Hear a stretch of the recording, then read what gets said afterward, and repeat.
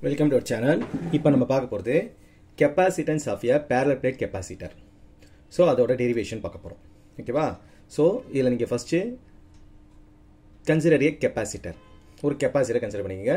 அதில் என்ன இருக்குது டூ பேரலல் பிளேட்ஸ் இருக்குது ஸோ கியூ ப்ளஸ்னு ஒரு பிளேட் இருக்குது கியூ மைனஸ்னு ஒரு பிளேட் இருக்குது நம்மக்கிட்ட ரெண்டு பிளேட் இருக்குது ரெண்டுக்கு நடுவில் என்ன டிஸ்டன்ஸ் இருக்குது டி டிஸ்டன்ஸ் இருக்குது ஓகேவா so electric field between the plates அப்படி வந்தால் நம்ம ஆல்ரெடி காஸ்லால படிச்சிருப்போம். Between the plates equal to six sigma by epsilon naught ஓகேவா ஸோ சிக்மாவோட ஆன்சர் என்ன தெரியும் எனக்கு? கியூ பை ஏன்னு தெரியும். சொல்ல புரிஞ்சா? ஸோ அதை தான் இப்போ யூஸ் பண்ண போகிறோம் first electric field between the plates form என்னது? Equal to sigma by epsilon naught sigma தெரியும்? கியூ பை ஏ ஸோ இந்த கியூ பை ஏவை இந்த சிக்மா இடத்துல நான் ரீப்ளேஸ் பண்ண போகிறேன் ரீப்ளேஸ் பண்ணாதான் எனக்கு இந்த ஆன்சர் கிடச்சிருக்கு. Equal to Q by A epsilon naught சொல்ல புரிஞ்சுங்களா? அடுத்து பொட்டான்ஷியல் டிஃப்ரென்ஸுக்கும் எலக்ட்ரிக் ஃபீல்டுக்கு இருக்கிற ரிலேஷன் வந்து வி ஈக்குவல் டு இடி நம்ம e இ ஆன்சர் தான் தெரியும்ல? ஸோ இ ஆன்சர் எடுத்து இங்கே அப்ளை பண்ணுங்கள் so Q d by A epsilon naught நல்லா புரிஞ்சா? ஸோ வி ஆன்சர் கிடச்சிருச்சு. அடுத்து capacitance formula C equal to Q by V so Q as it is அப்படியே இருக்கு. விக்கு என்ன கண்டுபிடிச்சிருக்கோம் நம்ம? Q d by A by epsilon naught அதை போடுறோம். அப்போ இதை கியூ கியூ கேன்சல் ஆயிடுச்சு. ஓகேவா ஸோ ஏ எப்சலான் மேலே போயிடுச்சு. அப்போ சியோட ஆன்சர் என்னது? Epsilon naught A by d so இதான் வந்து capacitance of a parallel plate கெப்பாசிட்டியோட formula so இங்கே நான் சைடில் போட்டு காட்டுறேன் பாருங்கள் first between the பிளேட்டோட formula equal to sigma by epsilon naught so இதான் வந்து ஈக்குவேஷன் ஒன் எனக்கு சிக்மாக்கு என்ன தெரியும்னா கியூ பை ஏன்னு தெரியும். இதை நீங்கள் ஈக்குவேஷன் டூன்னு எடுத்துக்கோங்க. இப்போ டூ எடுத்து ஒனில் சப்ஸ்டியூட் பண்ணுங்கள் substitute two in one apply பண்ணனா equal to Q by A epsilon naught வந்துடும் இது ஈக்குவேஷன் த்ரீ நல்லா புரிஞ்சா? அடுத்து எனக்கு இந்த பக்கம் போடுற பாருங்க.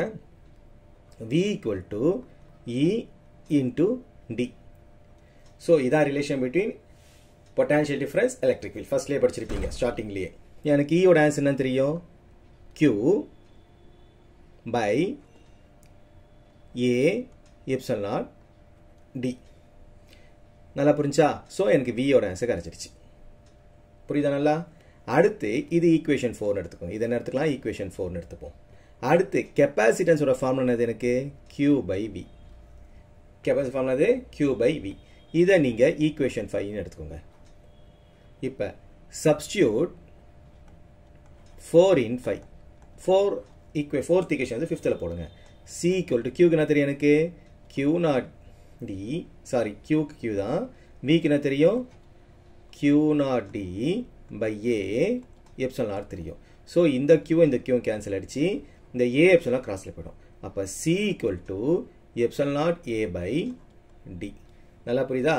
ஸோ அதான் அதோட ரிசல்ட் ஸோ இதில் பார்த்தீங்கன்னா சிக்கு நேராக ஏ இருக்கு நம்மளுக்கு கரெக்டாக சிக்கு நேராக ஏ இருக்கு. ஸோ அப்போ ஏரியாவை இன்க்ரீஸ் பண்ணிங்கன்னா கெப்பாசிட்டன்ஸும் இன்க்ரீஸ் ஆகும். நீங்கள் ஏரியாவை இன்க்ரீஸ் பண்ண பிளேட்டோட ஏரியாவை இன்க்ரீஸ் பண்ண இன்க்ரீஸ் பண்ண கெப்பாசிட்டன்ஸ் தான் உங்களுக்கு இன்க்ரீஸ் ஆகும்.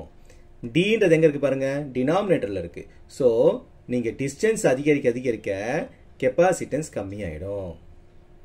So capacitance is directly proportional to area capacitance inverse proportional to distance between the plate so பிளேட்டோட distance அதிகரிச்சிங்கன்னா கெப்பாசிட்டன்ஸ் கம்மியாயிடும். ஸோ அதுதான் இந்த ரெண்டு பேரால கொடுத்துருக்கான். இதை பேஸ் பண்ணி ஒரு சம்மு கூட கொடுத்துருக்கான் பாருங்க கீழே. பேரலர் பிளேட் கெப்பாசிட்டர் ஓகேவா சரி ஸ்கொயர் பிளேட் கொடுத்துருக்கான். சைடு வந்து ஃபைவ் சென்டிமீட்டர் கொடுத்துருக்கான். யூனிட்லாம் எனக்கு மீட்டரில் தான் இருக்கணும். ஸோ சென்டிமீட்டர் மீட்டரில் கன்வெர்ட் பண்ணி வச்சுக்கோங்க. டிஸ்டன்ஸ் பிட்வீன் ஒன் மில்லி மீட்டரில் கொடுத்துருக்கான். அதுவும் மீட்டரில் தான் இருக்கும். அதையும் கன்வெர்ட் பண்ணி வச்சுங்க கொஸ்டின்லாம் கொடுத்துருக்கான் எனக்கு? ஏவும் கொடுத்துட்டான். சரிங்களா? அதாவது சைடு கொடுத்துட்டான் அடுத்து டிஸ்டன்ஸ் கொடுத்துருக்கான் ஏரியானா சைடு இன்ட்டு சைடு ஸோ அதை மல்லி பண்ணி வச்சுக்கோங்க. நல்லா புரியுதா? அடுத்து calculate capacitance of the capacity so இந்த ஃபார்மில் பே பண்ண போகிறோம் எப்சலோட ஆன்சர் என்னது? Eight point eight five to ten power minus twelve ஏவோட ஆன்சர் என்னது? Side into side so five into five twenty five ten power minus four ஏன் போட்டிருக்காங்கன்னா சென்டிமீட்டர்லேருந்து நீங்கள் மீட்டர் கன்வெர்ட் பண்ணோன்னா into ten power minus two சேர்க்கணும். இது ஏரியானால டென் பரா மைனஸ் ஃபோர் ஆயிடுச்சு. அதே மில்லி மீட்டர்லேருந்து நீங்கள் மீட்டராக கன்வெர்ட் பண்ணால் டென் பரா மைனஸ் த்ரீல மல்டிப்ளை பண்ணணும். அதான் ஒன் எயிட்டி மைனஸ் த்ரீ கொடுத்துருக்கான். ஸோ இதை சிம்பிளை பண்ணிங்கன்னா two twenty one point twenty ten power minus thirteen F for எயிட்னு வந்திருக்கு. ஓகேவா ஸோ எனக்கு பிக் ஆஃப் டுவெல் வந்தால் போதும். ஸோ அதனால் பண்ணுறோம் இல்லை ஒரு பாயிண்ட் இங்கே தள்ளிடுறோம். Twenty two point one two பார்த்தோம் போட்டோம்னா மைனஸ் தேர்ட்டின் டூ மைனஸ் டுவெலாக மாறிடும்.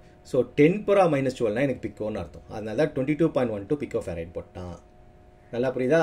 இதுலேயே செகண்ட் கொஸ்டின் ஒன்று கேட்டிருக்கான் கொஸ்டினில் இப்போ டென் வோல்டேஜ் பேட்டரி நான் கனெக்ட் பண்ணிட்டேன்னா அப்போ சார்ஜ் எவ்வளோ ஸ்டோ ஸ்டோர் ஆகும் அப்படி கேட்குறாங்க so charge formula Q equal to CV so இதே ஃபார்முலா தான் அங்கே படிச்சுங்க பாருங்கள் C equal to Q by V சரியா? இப்போ Q equal to CV C எனக்கு தெரியும். இப்போ தான் கண்டுபிடிச்சேன். Twenty two point one two V அவனே கொடுத்துட்டான் டென்னு ஸோ மல்லே பண்ணால் எனக்கு ஆன்சர் வந்துருச்சு. ஸோ இது யூனிட் இதில் சொன்னோம். கெப்பாசிட்டர்னு சொல்லணும் சி பிக்கோ? சி சொல்ல புரிஞ்சா? கூலுமில் சொல்லணும். ஏன்னா இது வந்து சார்ஜ் அதனால கூலுமில் சொல்லணும். இது வந்து கெப்பாசினஸ் அதனால் ஃபரேடில் சொல்லணும். So very very very important three மார்க்லேயும் கேட்கலாம். உங்களுக்கு லக் இருந்தால் ஃபைவ் மார்க்லேயும் கேட்கலாம். நல்லா புரியுதா? ஸோ தேங்க்யூ ஃபார் வாட்சிங்